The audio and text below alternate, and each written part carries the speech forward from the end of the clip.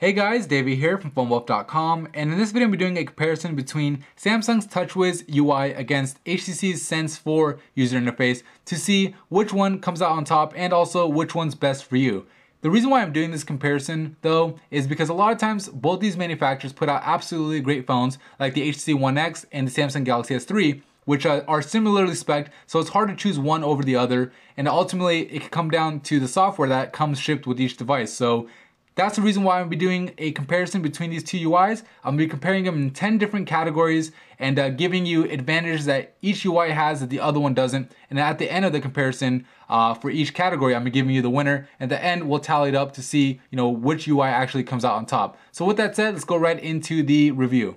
Alright, so the first category I'll compare between the two UIs is the lock screen. So I'll go ahead and take a look at TouchWiz first. So I'll go ahead and lock the screen and unlock it. First thing you'll notice is uh, these application shortcuts here at the bottom. You have four of them, which you could actually customize to be whatever you want.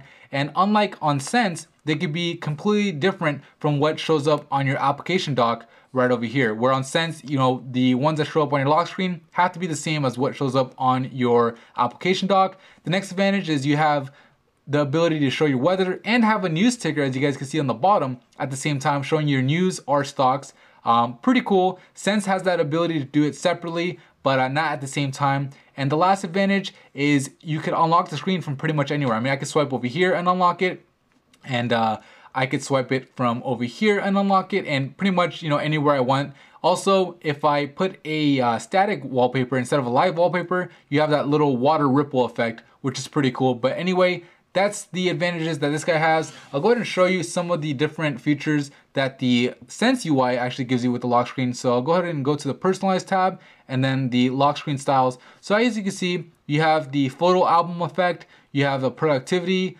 uh, effect, you have a different scene for friend stream, weather, people, etc. So you have a bit of more options, which is nice.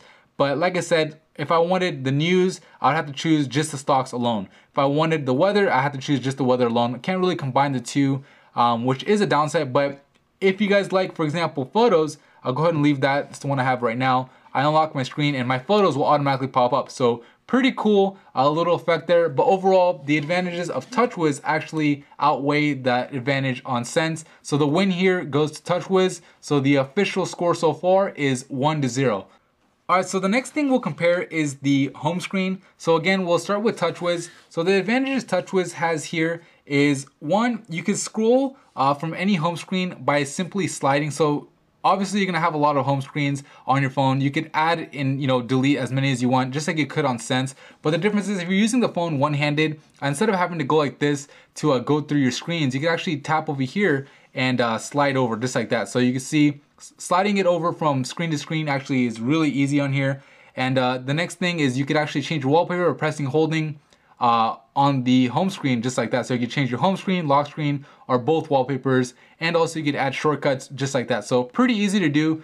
Um, on Sense though, you actually have the ability to make folders just like you would on ice cream sandwich. So you could actually you know drag and drop folders on top on top of one another to make a folder. You can't do that on touchwiz even though that's the ice cream sandwich feature. Another thing is you could actually add widgets right from you know your home screen by pressing and holding. And actually it's really easy on sense. So for example i'll go to this home screen really quick and uh, delete this widget because i have no room. So i'll delete this guy and then we'll add a widget so you guys can see, you know, there's a bunch of widgets I could choose from, much more than you'd find on the TouchWiz UI. And also there's a lot more wallpapers, so that's another advantage. But I'm gonna go ahead and add a calculator widget.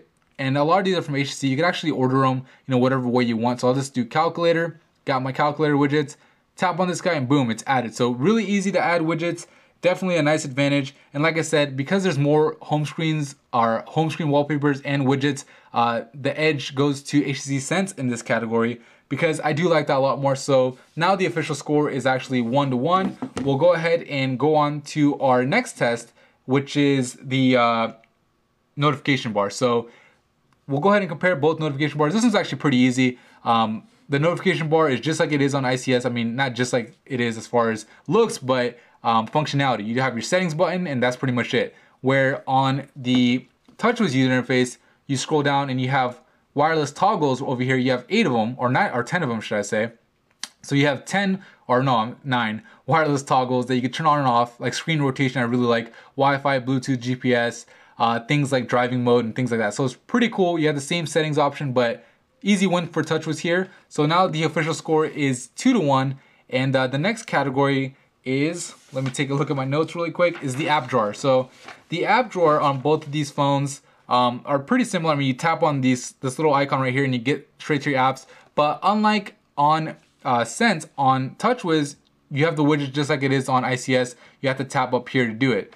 Um, the advantages that TouchWiz has in this area is it's easy at sliding from home screen to home screen again, or from uh, app screen to app screen. So with one-handed use, it's going to be a lot easier. Another thing is you can actually uninstall your apps in bulk. So you tap menu and uninstall, and I just tap the little minus icon, kind of like it is on the iPhone, to uninstall apps just like that, which is pretty cool. Another thing that you could do on the uh, TouchWiz UI is go to view type, and for example, I can make it a list instead of a grid, but you know I prefer the grid, so I'll go ahead and back to grid.